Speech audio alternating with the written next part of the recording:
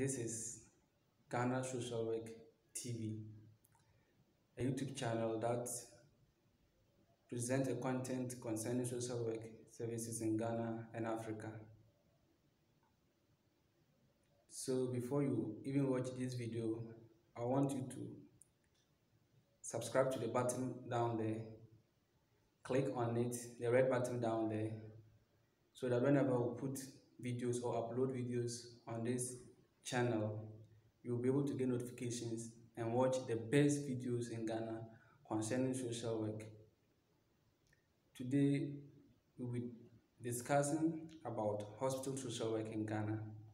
And basically, we'll be giving you a brief history into how hospital social work came into Ghana.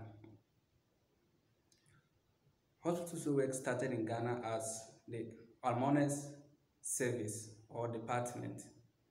Who is an almoner? Almoner is more like a pastor today. So they are uh, in the olden days, these are people who the church used to support the poor in our community.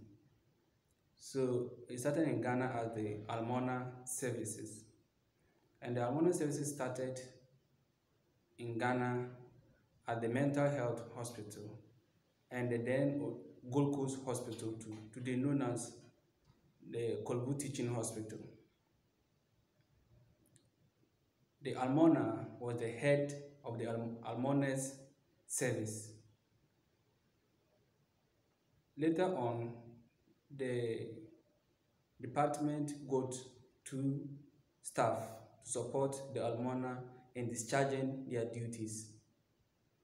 These two staff had little knowledge in the area of social work, but they were given an elementary training in social work in Ghana here to support the almoner in discharging their duties.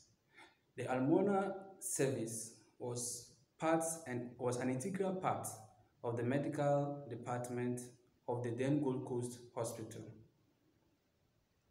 Later on, the almoner services was changed into the hospital welfare, which was being supported by the social welfare department